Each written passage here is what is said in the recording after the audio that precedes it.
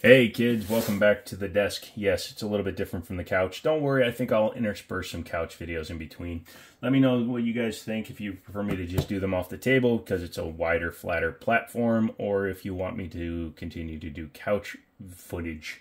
I, I, can do both. It's just I've been moving a lot of stuff recently. My couch is covered with crap. Plus, I set up this desk area, so I might as well freaking use it. So as you can see, I've got my gun rack right there, a couple of gun lockers, a couple of long guns there that I'm playing with. I think this setup works for this smaller stuff, but let me know what you think. Inside this case, we have an HK Heckler & Koch.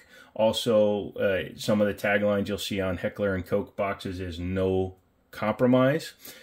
Unfortunately, I watch a YouTube content creator who likes to say no compromise, and it throws me off, so I have to say it the right way. It's just like those people that say Heckler and Koch.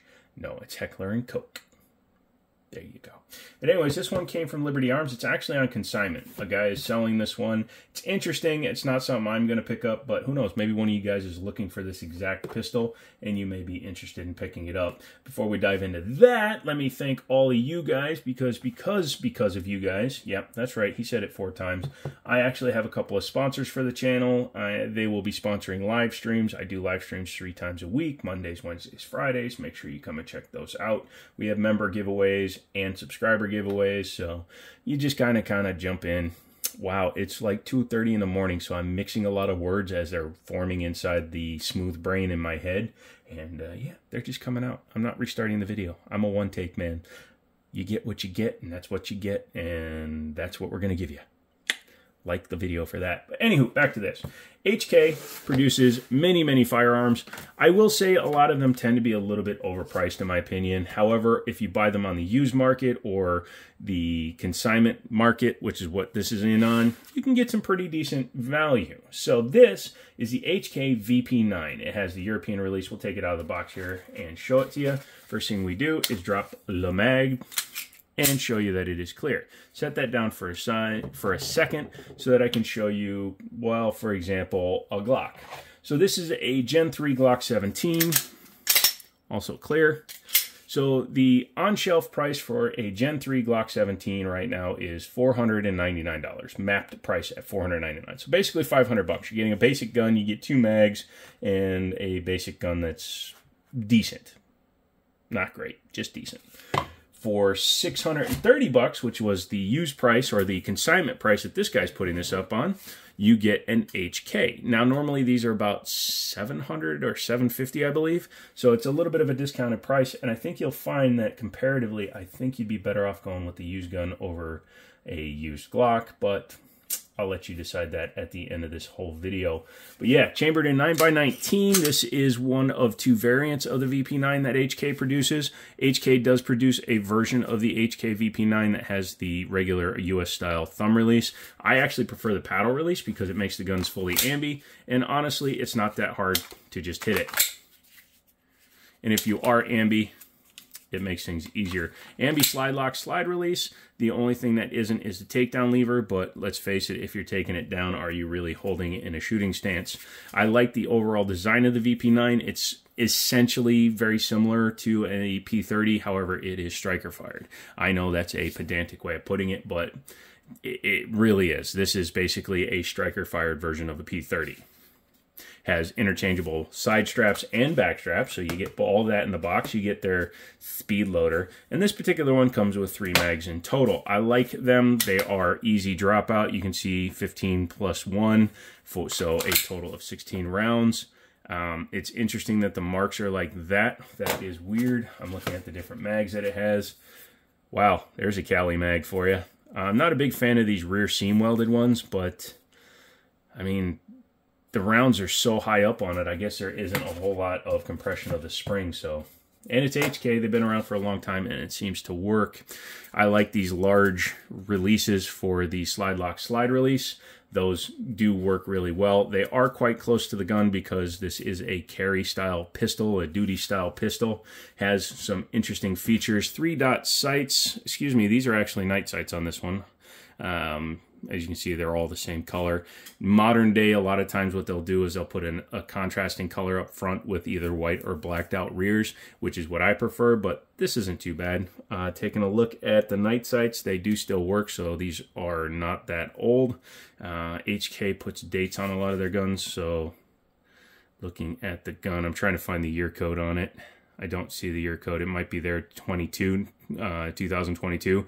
I don't think this is a 2024 gun, but yeah, not too bad. Has a full pick rail underneath so that you can run a light laser bazooka. This is just my Warrior Land light. It just happens to be on my desk. So as you can see, fits on there really easily. Helps if you're securing it on there. But yeah, that's the way it looks when you put a light laser on there. One of the neat features on this gun that I do like is the rear here. You can see it actually has like little ears back here. Makes it easier for people to grab and rack. It is rather stiff, stiffer than a lot of modern guns because this design is like 22 years old, I believe. Yeah, I like how easily that drops out. The grip feels really nice. It has three finger grooves. They happen to be the right cut for me. Uh, if you have smaller hands, they might not fit well. If you have gianter hands, yeah, that's right. He said gianter. If you have gianter hands, they may uh, not fit on there as well. But because of the height from the slide to the frame there, you should have no issues, even if you happen to be a Burger King calorie enhanced individual. Nice. Has a extractor that doubles as your loaded chamber indicator. You can see there here, actually, let me put one in there. I thought that was easier to push. It isn't. Where's my snap cap?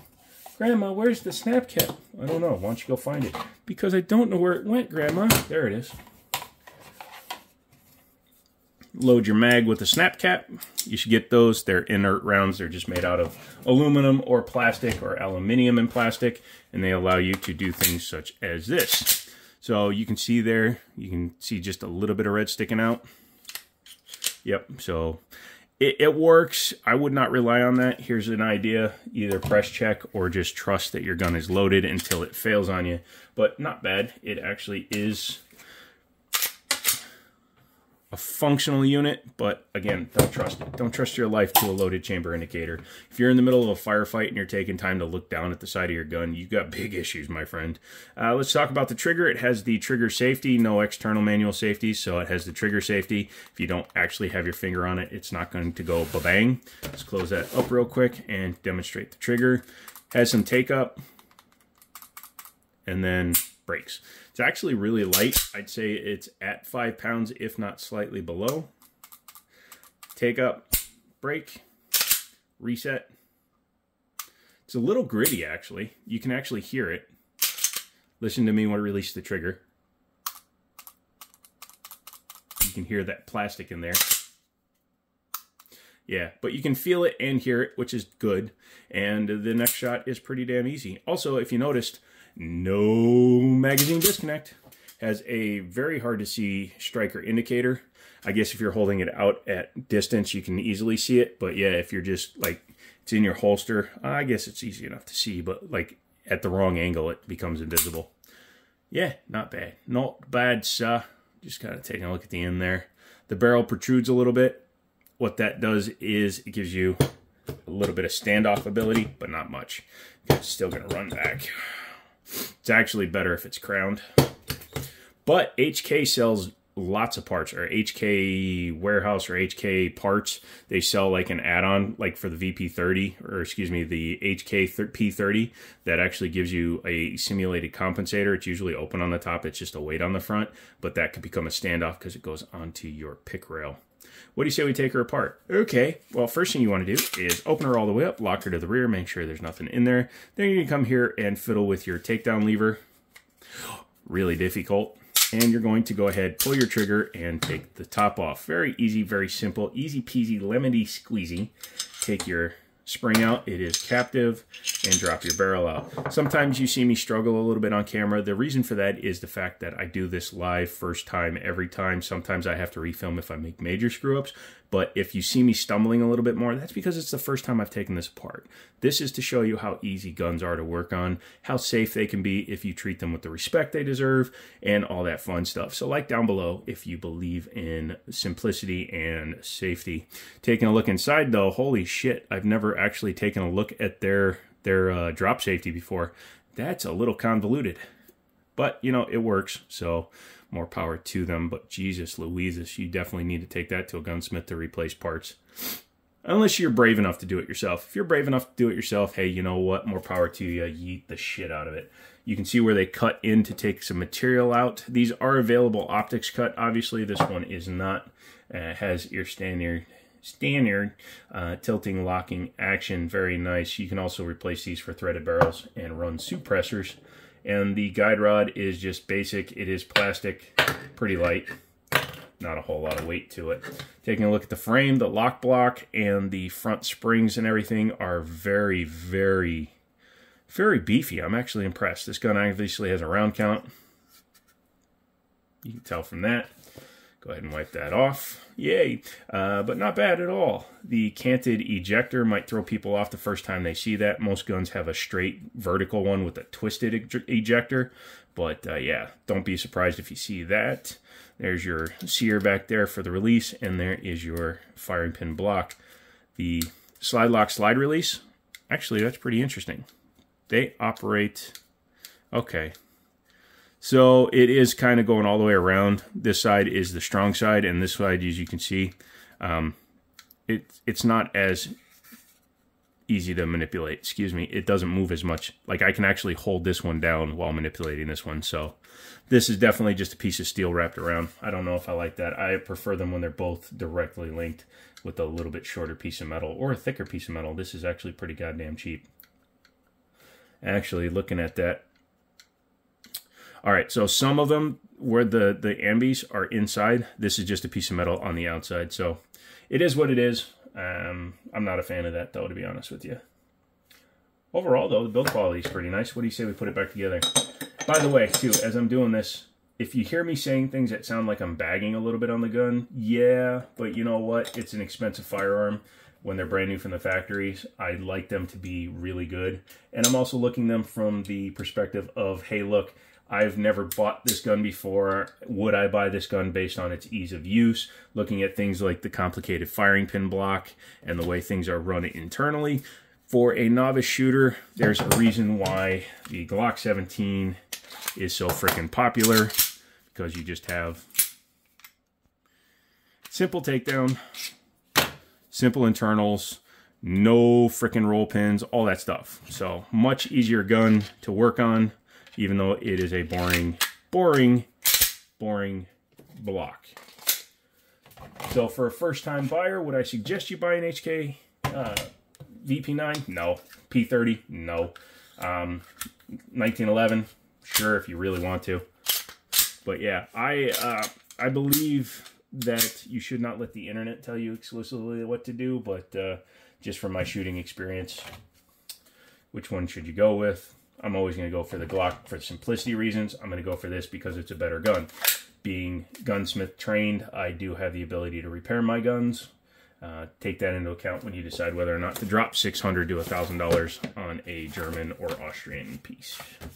I know this sounds a little bit rambly. I like to do these videos this way. It's not trying to extend for time because 13 minutes is well over, you know, you see the assholes that put out 100 videos a year where they're all 8 minutes in one second. I don't do that shit to you guys. Um, I try to keep it as down to earth as I can, and hopefully you guys enjoy it. So if you enjoyed this video, let me know. If you like me filming off the butcher block, let me know. I don't mind doing it. If you want me to go back to the couch, I can do that once a week and then use the butcher block for everything else. I think this is the better filming source just because it's an actual goddamn table. And with my tattoos, are you really going to confuse me for somebody else? Yeah, that's about it. Leave me a comment. Let me know if you have any of the guns you've seen here. MC9, SF, T-Sauce, Hutchka, 1911 PSA Rock. If you got any of the guns you've seen on the table today, let me know because I'm always interested in seeing what you guys have. Come back for some live streams Mondays, Wednesdays, and Fridays beginning at 7, 7 p.m. Eastern, and we'll just have some fun. I love you guys. Thanks for coming back for this one, and as always, I'll talk to you later.